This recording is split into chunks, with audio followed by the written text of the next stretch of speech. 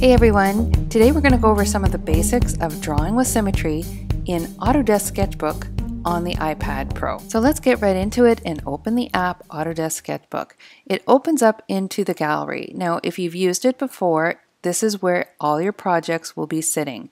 You can choose any of them here just by scrolling back and forth. All you have to do is touch one and it will open up into the app with all the layers that you can work on and you can continue to work on projects in this way. But we're going to open a new sketch today. So we're going to use this plus sign to create a new canvas. You can do it different ways. You can choose something from your camera roll, from iTunes, or even scan something in. But we're going to choose this new sketch option and it's going to come up with a choice of how we want our canvas to look. So if we go in here they give you the option of rotating your canvas and they give you some presets. So if we go into the presets, there's four options in here, which I guess they consider to be the most common. And if I choose screen resolution size, I end up with this rectangle and I can rotate it here. But I want to make my own size of canvas because I like to work with what I call a 300 dpi resolution and an 8 by 8 inch is about what I make my mandalas. So 8 times 300 is 2400. That's the pixel size that I want for my canvas. I use that in all the apps and then I can transfer my artwork between the apps as well, knowing that my size is consistent. So we're going with 2400 by 2400 and we're going to hit create. And our canvas pops up in the app so we can zoom it in and out. And if you are pinching it like this to zoom it in and out, you can see down here it has zoom and angle, so it's telling you what you're doing to your canvas when you're moving it around with your fingers. When I'm drawing, I'm often zooming in and zooming out and rotating the canvas around, so that little feature is handy to know where I am with relation to the canvas. So today we're focusing on symmetry, so we're going to go up into the top toolbar here and we're going to choose the symmetry option. So it's right here, right around the center. That's the one. So when you touch on it, another bar pops up with options of different kinds of symmetry. So the first one on the left, it turns blue, and that is the y-axis. So symmetry happening on the y. The next one is the x, and I turn off the y there, and now I just have the x-axis. If they're blue, see I have them both on now, the x and the y. If they're blue in the toolbar, that means that they're on. And if they're white, that means they're off. And then finally here we have the radial and we have a lever right here, move it back and forth and you can change the number of sections. So the lowest is 2, which looks a lot like the x or the y axis. I can move it up to 4, which is like having both those on, although it's going to operate different. I'll show you that later. And then I can move the lever all the way up to 16. That's the highest number, which is pretty high for a digitally created item.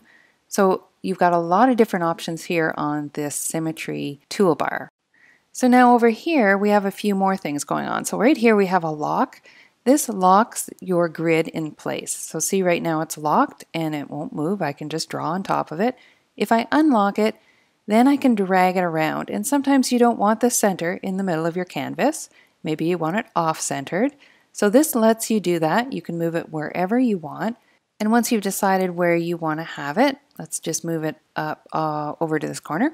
You can hit the lock button. There it's locked in place and now I can't drag it anymore. I can draw on it, but I can't drag it. Another useful tool over here is this little eye. If I click on it, my grid seems to disappear. So really what it is is just whether you can see the grid or not. The grid is still active as long as it's blue on the top toolbar. I'll just double tap that center and I'll put it right back into the center of my canvas. And now I can lock it in place there so I can draw on it. It also allows me to zoom in and out when it's locked in place and it doesn't change it. And the last option up here, this little symbol right here, you can extend the lines beyond the symmetry lines or the other option is that it, it stops at the symmetry line. So right now it's extending past, I can draw anywhere and it just duplicates it. Now, if I touch it again, I get the strokes are going to stop at the lines. So see how I can't draw past the symmetry line within that one pie section. So that keeps me drawing only in that pie section. That can be handy for certain things as well. So let's experiment with the x-axis and the y-axis. So we're going to try the y-axis to begin with. And I'm going to zoom out here so that you can see it's divided right down the center and anything I draw on one side is going to show up on the other side. So that's handy for a basic mirroring uh, artwork. Again, this is the x-axis, so it'll work the same way.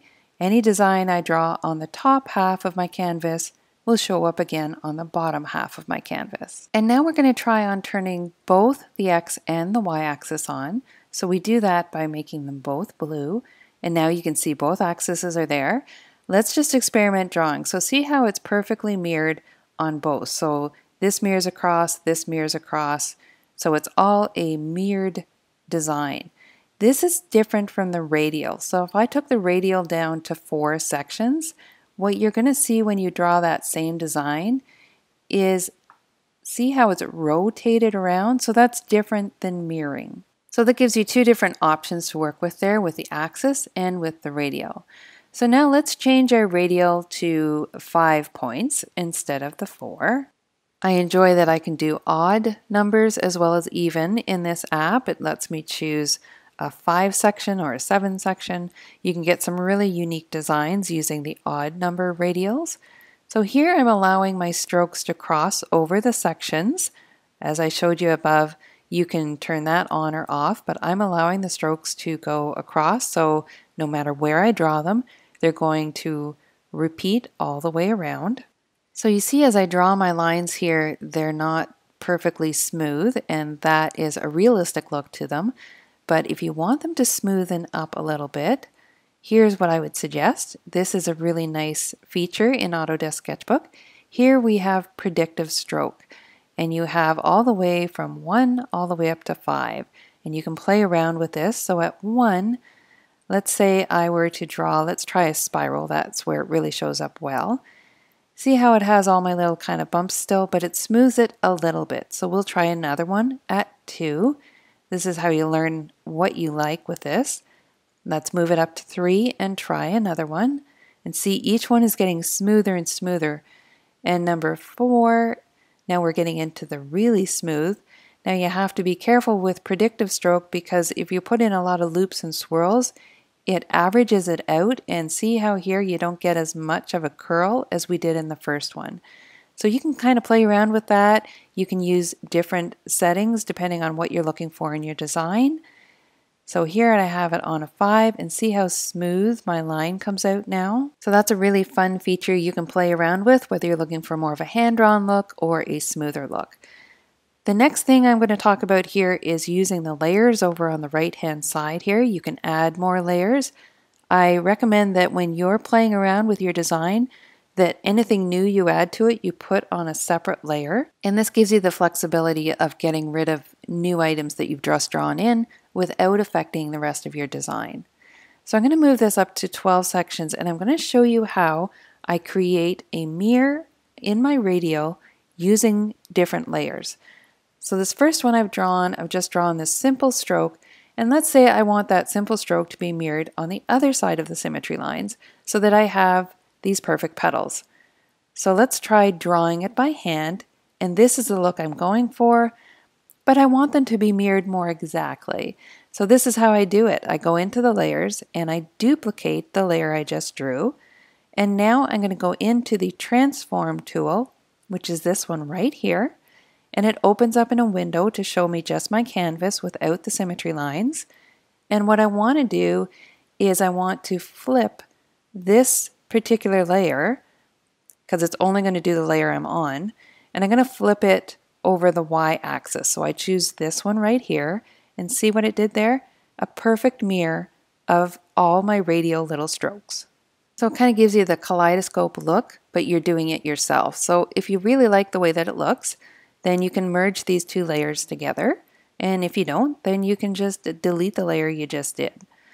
So I'm going back into my symmetry. You have to make sure that they're on. If they're surrounded in a blue line, they're on. If they're blue, they're on. So you just have to make sure that your symmetry is back on and my predictive stroke I want on. And I'm going to merge these two layers. So touching on that one, I just choose merge and it merges with a layer underneath it.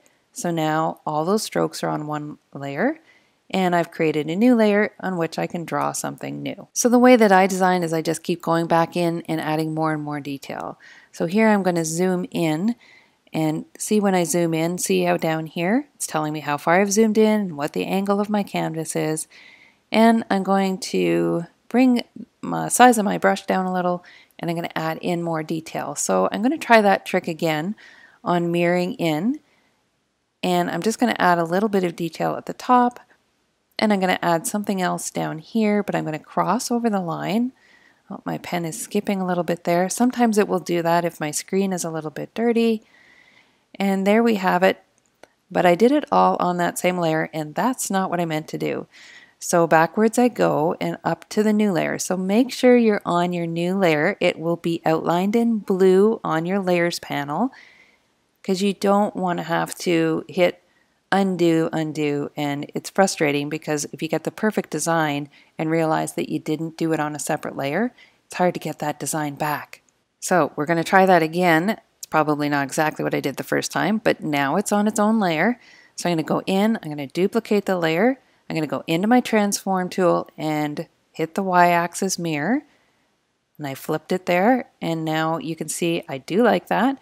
So I'll go in, touch it, and merge it down just with the layer underneath it. You can leave these separate and work your way through, or you can merge them all on. As soon as you're happy with it, you can go ahead and merge it onto one. Because as you go further into the design, you do need things on one layer in order to do fills and that kind of thing. So now you have some of the basics on how to draw in symmetry on Autodesk Sketchbook on the iPad Pro. It's one of the ones I use a lot for my mandalas and I really enjoy it. So go have fun with these techniques and if you share your designs on Instagram, tag me at JSP Create. I would love to see what you've come up with. Thanks so much for joining me in this tutorial and we'll see you next time.